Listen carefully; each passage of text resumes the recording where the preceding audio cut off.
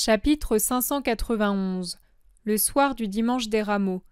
Les apôtres sont rappelés à la réalité après l'ivresse du triomphe. Le 4 mars 1945. Par une tiède soirée de pleine lune, Jésus et les siens sont dans la paix du jardin des Oliviers. Ils sont assis sur ces sièges naturels qu'offrent les talus de l'Oliveraie, plus précisément les premiers qui se présentent sur cette petite place naturelle que forme une clairière située à l'entrée de Gethsemane. Le cédron clapote en heurtant les cailloux de son lit et semble se parler à lui-même. Quelques chants de rossignol, un soupir de brise et rien d'autre. Jésus prend la parole. Après le triomphe de ce matin, votre état d'esprit est bien différent. Que dois-je dire? Qu'il est soulagé? Oh oui, selon l'humanité, il est soulagé. Vous êtes entré dans la ville tout tremblant à cause de mes paroles. Il semblait que chacun craignait, pour lui-même, les sicaires à l'intérieur des murs, prêts à l'assaillir et à le faire prisonnier. Il y a en chacun un autre homme qui se révèle aux heures les plus graves. Il y a le héros qui, au moment du plus grand danger, jaillit de l'homme doux que le monde a l'habitude de voir et juge insignifiant, ce héros qui dit au combat Me voici, et à l'ennemi, à l'arrogant, Mesure-toi à moi. Et il y a le saint, qui, alors que tous s'enfuient, terrorisés devant les tyrans qui veulent des victimes, propose Prenez-moi en otage et en sacrifice, je paie pour tous. Le cynique, lui, profite personnellement des malheurs de tous et rit sur les corps des victimes. Quant au traître, son courage est particulier, c'est celui du mal. Le traître est l'amalgame du cynique et du lâche, qui est aussi une catégorie qui se manifeste dans les heures graves. Car il tire cyniquement profit d'un malheur et passe lâchement au parti le plus fort, osant pour en tirer profit affronter le mépris des ennemis et les malédictions de ceux qui l'abandonnent. Il y a enfin le caractère le plus répandu, le lâche, qui au moment dramatique n'est capable que de regretter d'avoir fait connaître son appartenance à un parti ou à un homme maintenant frappé d'anathème et ne sait que s'enfuir. Ce lâche n'est pas aussi criminel que le cynique, ni aussi abject que le traître, mais il montre toujours l'imperfection de sa structure spirituelle. Vous, c'est ce que vous êtes. Ne le niez pas, je lis dans les consciences. Ce matin vous vous disiez Qu'est-ce qui va nous arriver? Allons-nous à la mort, nous aussi? Et la partie la plus basse gémissait J'espère que cela n'arrivera jamais. Oui, mais vous ai-je jamais trompé? Dès mes premiers mots, je vous ai parlé de persécution et de mort. Et quand l'un d'entre vous, par excès d'admiration, a voulu voir en moi un roi et a voulu me présenter comme un roi, un des pauvres rois de la terre, toujours pauvre, même s'il est roi et s'il restaure le royaume d'Israël, j'ai tout de suite corrigé son erreur. Je suis roi de l'esprit, je propose privation, sacrifice, souffrance, rien d'autre. Ici sur la terre, je n'ai rien d'autre. Mais après ma mort, et votre mort dans la foi en moi, je vous donnerai un royaume éternel, celui des cieux. Vous ai-je jamais tenu un autre langage? Non. Vous dites non.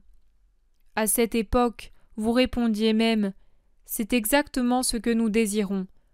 Nous voulons être avec toi, être traités comme toi, et souffrir à cause de toi. Oui, c'étaient vos propos, et vous étiez sincères, mais vous raisonniez comme des enfants, comme des enfants étourdis. Vous pensiez qu'il était facile de me suivre, et vous étiez tellement imprégné de la triple sensualité que vous ne pouviez admettre que ce à quoi je faisais allusion puisse s'avérer un jour. Vous pensiez C'est le Fils de Dieu, il dit cela pour éprouver notre amour, mais lui ne pourra être frappé par l'homme. Lui qui opère des miracles saura bien en accomplir en sa faveur. Et chacun ajoutait Je ne puis croire qu'il soit trahi, capturé, tué. La foi humaine que vous aviez en ma puissance était si forte que vous en arriviez à ne pas avoir foi en mes paroles, la foi vraie, spirituelle, sainte et sanctifiante. Lui qui opère des miracles saura bien en accomplir en sa faveur, pensiez-vous. Je n'en ferai pas un de plus seulement, mais un grand nombre. et deux seront telles qu'aucune intelligence humaine ne saurait l'imaginer. Seuls ceux qui croient dans le Seigneur pourront les admettre. Tous les autres, dans les siècles des siècles, diront C'est impossible. Et même au-delà de la mort, je serai un objet de contradiction pour beaucoup.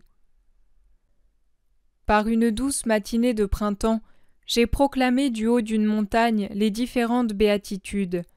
On peut y insérer Bienheureux ceux qui savent croire sans voir. J'ai déjà dit en traversant la Palestine Bienheureux ceux qui écoutent la parole de Dieu et qui la mettent en pratique. Et encore Bienheureux ceux qui font la volonté de Dieu. J'en ai ajouté d'autres, car dans la maison de mon Père, nombreuses sont les joies qui attendent les saints. Mais il y a aussi celle-ci. Ah. Bienheureux ceux qui croient sans avoir vu de leurs yeux corporels. Ils seront tellement saints que dès leur séjour sur terre, ils verront Dieu, le Dieu caché dans le mystère d'amour. Mais vous, depuis trois ans que vous êtes avec moi, vous n'êtes pas encore arrivé à cette foi. Vous croyez uniquement à ce que vous voyez. C'est pour cela que depuis le triomphe de ce matin, vous déclarez C'est bien ce que nous disions, il triomphe, et nous avec lui. Et comme des oiseaux qui remettent en place leurs plumes froissées par quelqu'un de cruel, vous vous levez pour voler, ivre de joie, plein d'assurance, libéré de ce qui vous serrait le cœur en entendant mes propos.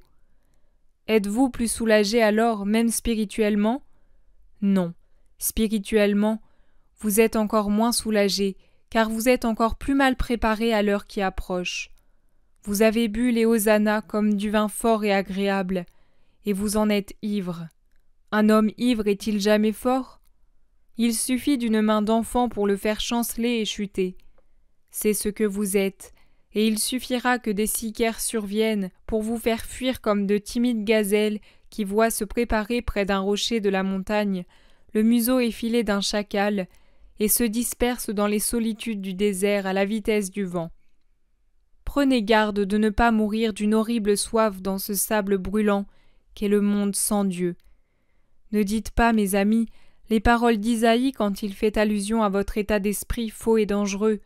Ne dites pas Celui-là ne parle que de complot, mais il n'y a rien à craindre, il n'y a pas lieu de s'épouvanter, il ne faut pas redouter ses prophéties.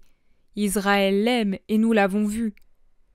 Que de fois le tendre pied nu d'un enfant foule les herbes d'un pré pour y cueillir des fleurs qu'il portera à sa mère, et croit n'y trouver que cela, alors qu'il pose le talon sur la tête d'un serpent, est mordu et meurt. Les fleurs cachaient le serpent. Ce matin il en était de même. Je suis le condamné couronné de roses. Les roses, combien de temps durent-elles? Que reste-t-il d'elles lorsque leur corolle s'effeuille en une neige de pétales parfumés? Des épines. Isaïe l'a prévu.